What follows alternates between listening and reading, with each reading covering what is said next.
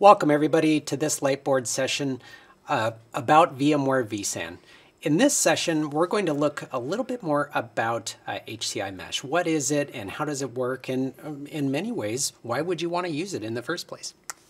So one of the benefits of HCI has always been the unique ability to scale deep, add storage devices with that host, or scale out and add more hosts to that cluster and add more throughput and compute and room for more virtual machines. Um, but one of some of the one of the common critiques, um, you know, was there's only 24 drive bays in my servers. Um, you know, what if I need to keep sca scaling um, from a compute basis? You know, when I start looking at this, you know, I can I can put a lot of capacity in a host. I can put hundreds of, of terabytes. But maybe what if my compute's growing at a faster rate? So maybe I've got a web server farm that I've got a bunch of skinny Tomcat servers from a storage basis, but they're using huge amounts of compute. Um, you know, and, and also another concern with vSAN was is that the data store was tied to the cluster in a tight manner. Um, and what about if I end up with stranded compute on one cluster and stranded storage on another? Um, kind of one of the goals of VMware I like to think is to virtualize all the resources, the network, the compute, the storage, and do so in a way to get the best utilization uh, from a capacity and performance basis. And so this is where HCI Mesh comes in. This allows us to have virtual machines that run on one cluster but consume storage from another, or have clusters that present storage to other clusters.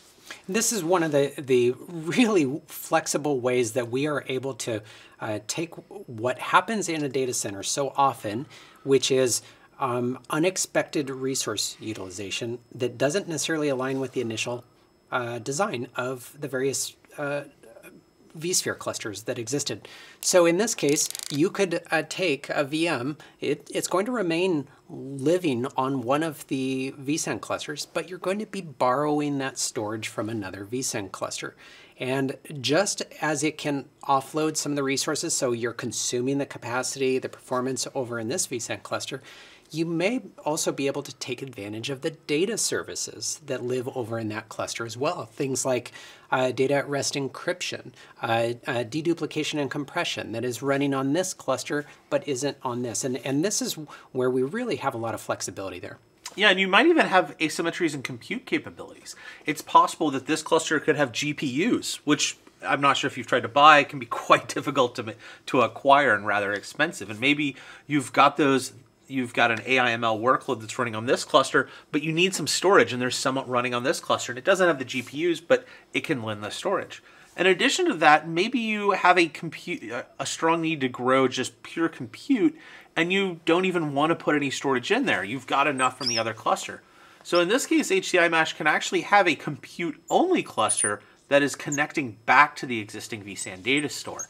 Um, and what I will note with in this case you don't actually have to license vSAN for the cluster that is not presenting a data store, that is not aggregating one. vSAN only needs to be licensed in the cases to where a data store is being substantiated. All hosts, obviously, in that cluster would need to be licensed. So in this way, you can, we've talked about all the different ways you can scale out, you can grow, you can make sure resources aren't stranded, and from a compute basis, we can even scale compute asymmetric to storage. HCI Mesh really allows you uh, to design for the change that you're that you really don't know may happen in your environment, and that's really one of the powerful uh, capabilities that it has.